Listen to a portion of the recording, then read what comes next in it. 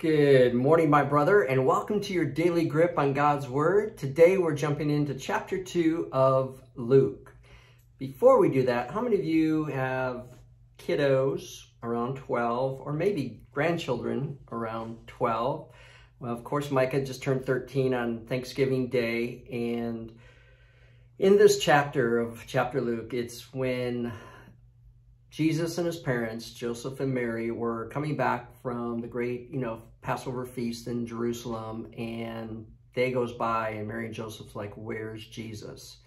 Well, they returned to Jerusalem to look for him for three days. I don't know about you, but there's been a moment in a store that I couldn't see Micah for three seconds. And panic set in, that just that feeling like, oh no, where is he? Where is he? And of course, he's hiding underneath a clothing rack, ready to scare mommy as she comes by him. But could you imagine three days searching for your 12 year old son?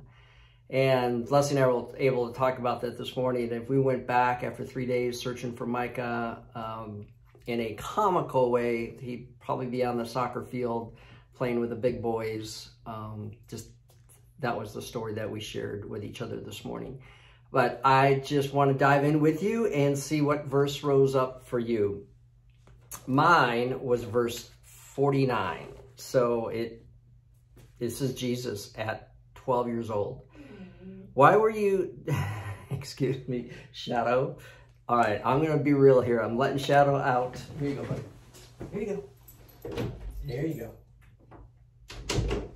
All right, sorry about that, but there we go. Luke chapter 2, verse 49. This is Jesus at 12 years old. Why were you searching for me, he asked. Didn't you know I had to be in my father's house? Wow, 12.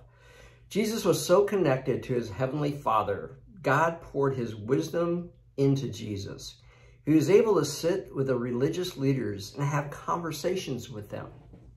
My implementation is I need to be in constant communion with my Heavenly Father, allowing Him to guide and direct my every step. My prayer is this Lord, pour out your Spirit upon me, shower down your wisdom that will help me to stay the path with you leading the way.